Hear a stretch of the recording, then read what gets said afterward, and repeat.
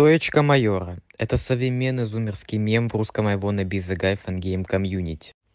I wanna kill the Camellia и I wanna be the Black – одни из фан-игр. В этих играх есть босс колонна, у которого русские окрестили майором.